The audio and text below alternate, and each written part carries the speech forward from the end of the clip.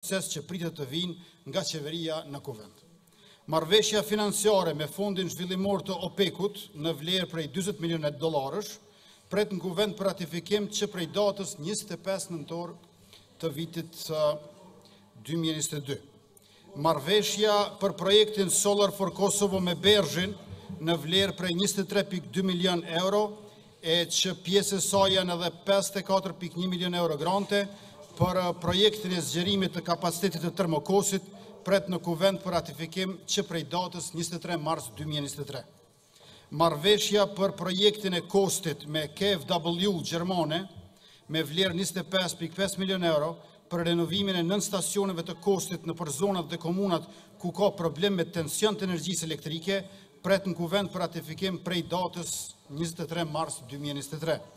Marrëveshja për burgjet me qeverinë daneze që siguron të ardhura buxhetore prej 150 milion euro dhe një grant për investime në energji të ripërtëritshme prej 27.5 milion euro, pra gjithsej 177.5 milion euro, pret në kuvend për ratifikim që prej datës 9 qershor 2023. Marrëveshja për linjën hekurudhore 10, Hani i Elezit Leshak, me Bankën Evropiane Investive në vlerë 38 milion euro pret në Kuvend për ratifikim që prej datës 14 korrik 2023. Marrëveshja për projektin e promovimit të agroturizmit me GIZ-in në vlerë prej 10 milion euro pret në Kuvend që prej datës 19 gusht 2023. Ka edhe marrëveshje që s'kanë të bëjnë me projekte infrastrukturore, por me bursa për studentë, sikurse marrëveshja me Ambasadën e Francës, e vlera e këtyre marrëveshjeve gjithsej që janë në pritje tejkalon shifrën prej 360 milion euro. Të gjitha këto po presin ratifikimin me votat e dy të tretat e deputetëve. Përderisa për të votuar një qeveri apo për të votuar ligje nevojitet shumica e thjeshtë, pra gjashtëdhjetë e një vota, Kushtetuta e Republikës Kosovës ka paraparë që për miratimin e marrëveshjeve ndërkombëtare duhen votat e dy të tretat e deputetëve, pra tetëdhjetë vota së paku. masë parandaluese që qeveritë e papërgjegjshme të mos nënshkruajnë marrëveshje të dëmshme apo të hyjnë në obligime financiare që rrezikojnë qëndrueshmërinë e shtetit. Tani marrëveshjet që po presin ratifikimin nuk janë as të dëmshme e as nuk shkaktojnë obligime që rrezikojnë qëndrueshmërinë financiare të Kosovës, Përkundrazi, kemi të bëjmë me mbi treqind e gjashtëdhjetë milion euro që ose janë kredi të buta me kushte koncesionale, ose janë grante, para falë, e që nuk duhet të kthehen fare dhe do të investohen në projekte zhvillimore që janë aq të nevojshme për vendin tonë. Madje që marrëveshjet janë në dobi të qytetarëve, për këtë pajtohen edhe opozita. Dhe megjithatë, Ata nuk po i votojnë. Cila është arsyeja? Të bllokohet qeveria? E vërtetë që na e bëni punën më të vështirë dhe e bëni shtetin të duket jo serioz para partnerëve ndërkombëtarë, por megjithatë qeveria mund të vazhdojë mandatin deri në fund edhe pa marrëveshje ndërkombëtare. Por me këtë mosvotim nga opozita humbin qytetarët.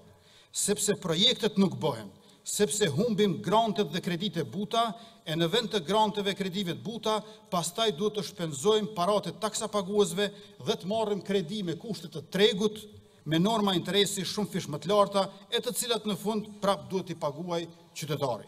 Detyra e opozitës është tregojë se si mund të bëhet ma mirë, e jo ta bllokojë punët në kurriz qytetarëve.